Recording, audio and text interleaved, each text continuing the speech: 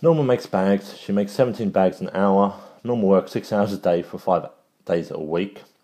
Each bag is checked. If a bag is perfect, it's put in a box. When the, the 12 bags in a box is full. One week, 90% of the bags Norma makes were perfect. Work out the number of boxes completely filled with bags by Norma.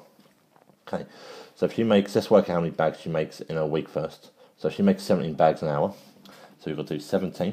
She works for six hours a day, times by six. This is how much she'll do a day. And five days a week, so I'm going to times that by five. I need to calculate this. 17 times 6 times 5. So she makes 510 a week.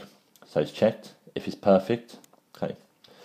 So, okay, good. On one week, 90% of bags Norma made were perfect. So 90% of this are perfect. So I have to do 510 times 90%. And it's calculator paper, so I'm going to do nothing smart. I'm just going to do 510 times 90%, which is 459. So all of these are perfect, all of these are put in boxes. Okay, we know there's 12 bags in a box, so I need to divide this by 12, which is 38.25. Okay, work out the number of boxes completely filled bags by Norma. Now, it's 38 bags, 30 boxes, sorry.